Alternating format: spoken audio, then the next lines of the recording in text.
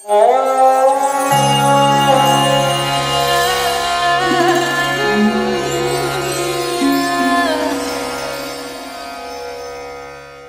الله الرحمن الرحيم السلام عليكم ورحمة الله وبركاته الحمد لله نحمده ونشكره على نعمه الجزيلة أشهد أن لا إله إلا الله وحده لا شريك له Wa rasuluhu la nabiyya ba'dah. Allahumma salli wa sallim ala sayyidina Muhammad ibni Abdullah wa ala alihi wa ashabihi wa mawalah. La hawla wa la quwwata illa billah. Amma ba'd. Saudaraku kaum muslimin dan muslimat yang dimuliakan oleh Allah kita lanjutkan kembali pengajian kita kitab Bidayatul Hidayah yang ditulis oleh Hujjatul Islam Abu Hamid Al-Ghazali Bismillahirrahmanirrahim wa baqiya ini sisa bacaan beberapa waktu yang lalu yang masih terkait dengan alenia di atasnya. Wabakiyalan isi tetep opo amruhu persoalane wong. Ini orang yang menjadikan ilmu pengetahuan atau memperalat ilmu pengetahuan sebagai eh, perantara untuk memperkaya diri atau meraih jabatan atau kekuasaan. Dia tahu bahwa ilmu itu memang memiliki kekuatan untuk itu begitu. Tapi di dalam hatinya dia menyadari kesalahannya. Nah orang seperti itu ini wabakia lan ise tetep opo amruhu persoalane wong kang nomor loro ya yang kedua yang mencari ilmu itu fi khotoril masyiati ing dalem bahayane kehendake Gusti Allah Subhanahu wa taala. Artinya orang yang seperti itu dia akan tetap dalam situasi yang sangat berbahaya tergantung kepada kehendak Allah Subhanahu wa taala. Fa in afa. Kalau Allah mau dimaafkan, tapi kalau tidak fa in azaba, disiksa oleh Allah. Wa in wufiko lan lamuno den wehi uh, taufik sapa wong. Lit taubati maring ngelakoni taubat. Qabla hululil ajali ing dalam sadurunge tekone ajal. Kalau orang tersebut diberi taufik oleh Allah dan bisa bertaubat sebelum ajalnya tiba wa adhafalan iso nyandaraken sapa wong ilal ilmi maring ilmune al amala ing amale lalu dia bisa menyatukan antara ilmu dan pengamalannya. Watadarokalan nambal. Nambal sapa wong maing hal-hal paroto melalaikan sapa wong fihi ing dalem minal kholali saking kerusakan. Kemudian dia mau menambal hal-hal yang sudah dia lalaikan dari amal perbuatan kepada Allah beribadah kepada Allah mengamalkan ilmu itu yang rusak-rusak dia tambal dia penuhi kembali maka kalau seperti itu iltahako mongko iso metui sopo wong bil faizina kelawan wong-wong kang bejo-bejo kabeh. Kalau kondisinya seperti itu maka dia bisa termasuk orang-orang yang beruntung. Akan tetapi kata Imam Ghazali, kalau dia belum sempat bertaubat dari kesalahannya itu sedangkan ajal sudah menjemput, maka dia termasuk orang-orang yang suul khotimah. Nauzubillahi min itu ya. Jadi tetap bisa dia iltahaqo bil faizin ketemu dengan orang-orang yang beruntung itu bisa. Itu. Kalau bertaubat dahulu sebelum ajalnya tiba. Fa inna taib. Fa inna taiba krana sak temene wong kang gelem taubat minadzambi saking dosa iku kaman kaya dene wong la dzamba kang ora ono dosa iku maujud lahu kaduwe man karena orang yang bertaubat dari dosa itu seperti orang yang tidak pernah punya dosa.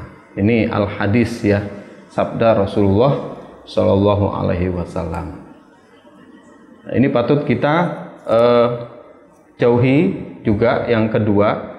Jadi tipe orang yang kedua yang mencari ilmu dengan tujuan memperalat ilmu itu untuk kehidupan duniawi yang hina ini ini perlu kita jauhi karena masih rentan bahaya. Iya kalau bisa bertaubat sebelum ajalnya. Tapi kalau keburu ajalnya tiba belum sempat bertaubat, naudzubillah min maka dia akan termasuk orang yang suul khotimah, yang doanya sudah di mana-mana disampaikan oleh kaum muslimin muslimat itu Jadi semoga kita itu selalu diberi rahmat oleh Allah dan pada saat dipanggil oleh Allah dalam keadaan husnul khotimah gitu. Atau dijauhkan dijauhkan dari suul khotimah. Nah, ini orang-orang yang terancam ya suul khotimah kita harus tahu salah satunya adalah itu tadi orang yang mengejar duniawi nah tahu hinanya dunia dikejar terus belum sempat bertaubat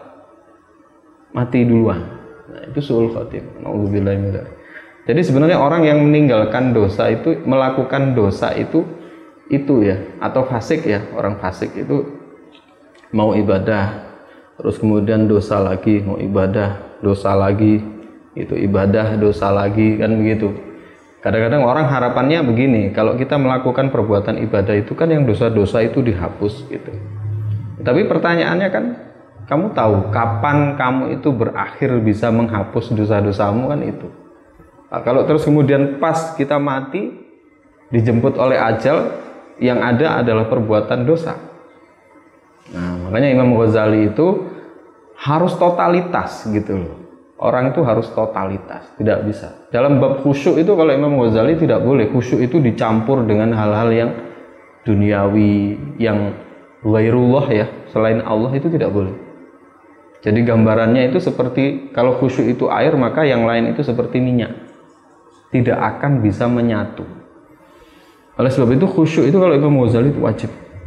Wajib di dalam sholat itu khusyuk tidak boleh dicampur sama yang lain. Harus totalitas Allah Subhanahu wa taala makanya belajarnya harus betul-betul. Kita lanjutkan. Warajulun utawi wong salitun kang nomor telu iku istahwadha nguasai alaihi ing atase rajul sapa asyaitonu setan. Orang yang ketiga yang mencari ilmu ini dia dikuasai oleh setan. Akibatnya fattakhadha mongkon dati akan sapa rajul ilmahu ing ilmune rajul dari atan ing perantara atau wasilah.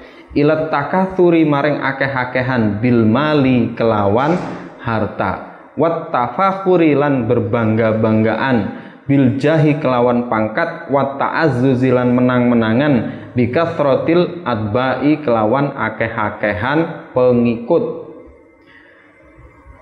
Akibatnya orang yang ketiga tadi ya dia dikuasai oleh setan dia menjadikan ilmunya itu perantara untuk e, berbanyak-banyakan di dalam harta. Itu. Kemudian berbangga-banggaan di dalam pangkat. Berbangga-banggaan di dalam e, pengikut jadi eh, apa namanya duniawi juga. Jadi dia mencari ilmu eh, tahu bahwa ilmu memang berpotensi untuk bisa meraup kekayaan meraup eh, pangkat kekuasaan dan pengikut. Ini yang sangat berbahaya. Dan itu dia banggakan gitu loh. Jamaahnya pada saat dia manggung itu dihitung berapa ribuan, jutaan gitu kan. Bahkan kalau ada orang bilang Allah jamaah sampean misalnya hanya 10 ribu, dia tidak mau.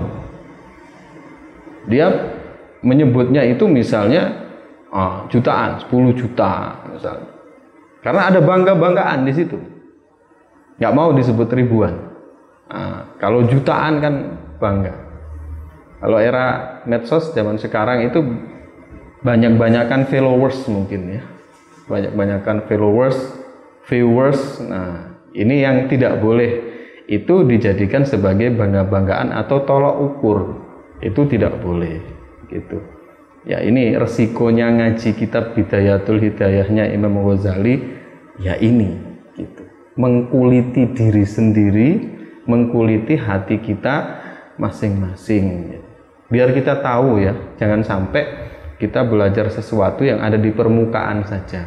Jadi Imam Ghazali sudah bilang di depan bahwa yang namanya takwa ada zahiratu takwa, ada batinut takwa.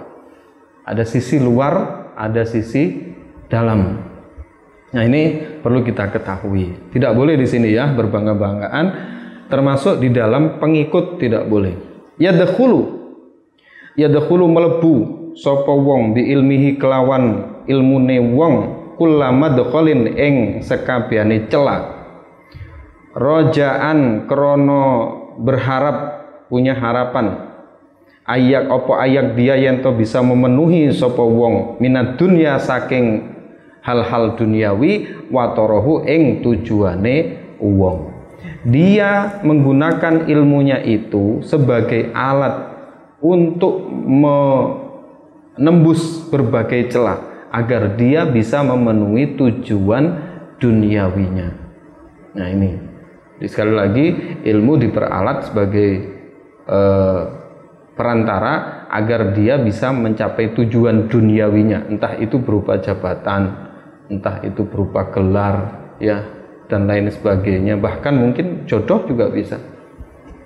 Jodoh juga bisa karena ilmu itu luar biasa, ya Kan Quran sendiri itu kalau di e, bagi orang-orang tertentu kan bisa menjadi jampi-jampi ya, ajian-ajian dan lain sebagainya. Kan bisa begitu.